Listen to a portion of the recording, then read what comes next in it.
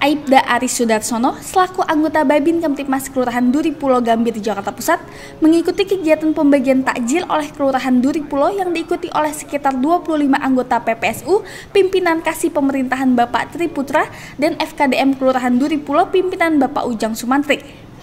Pembagian takjil dilaksanakan di Jalan Kiai Haji Hashim Asyari, Gambir, Jakarta Pusat, dan diberikan kepada pengguna jalan, terutama pengguna kendaraan bermotor roda 2 dan pejalan kaki yang melintas. Pada kegiatan tersebut menyungsung tema indahnya berbagi.